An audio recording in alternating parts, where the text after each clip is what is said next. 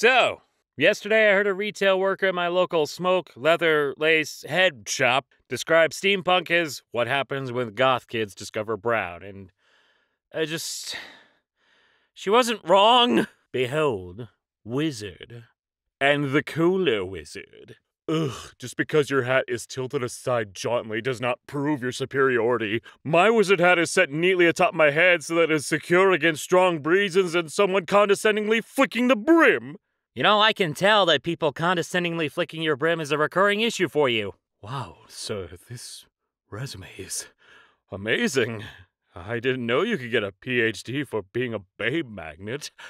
Hired. Literally me when Andy handed me his work credentials. Who are you? I'm. Your video editor.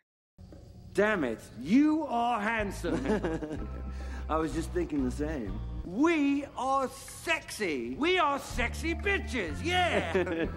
You know, we can make anything traumatizing if we theorize long enough. I'm dead inside. Keeping the same tabs open for nine days straight because they contain information relevant to task you're too lazy to complete. A novel by me.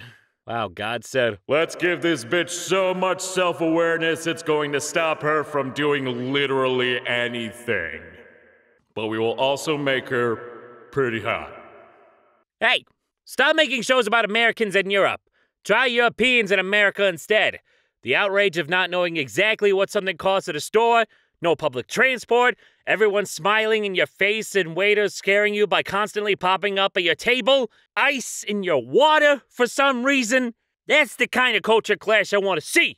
Fuck Emily in Paris. I want Francois in Texas. Imagine your favorite character barging into your room this moment, grabbing your hand and taking you with them into their world. Let's be honest though, most of us would be dead within a week. But it would be a bloody brilliant week. Why do potatoes have more chromosomes than us? What do they need them for? That's none of your business. Fuck Rubik's Cubes. These bitches are impossible. If I had to save my family by solving a Rubik's Cube, I wouldn't even try. I'd let them die.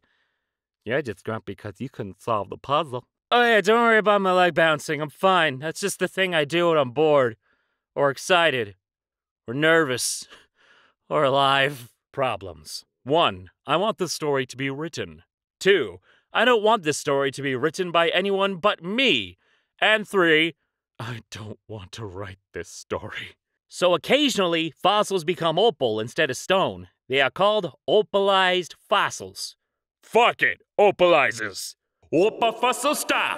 My dearest beloved fuckos is a fun, gender neutral way to begin a speech. See also, esteemed bastards, gentlefolk, ferals, and domesticated cryptids, and my fellow yees and haws. Well, I didn't have a post that ended on scream, so Andy, my man, guess the time it is. Let's do this.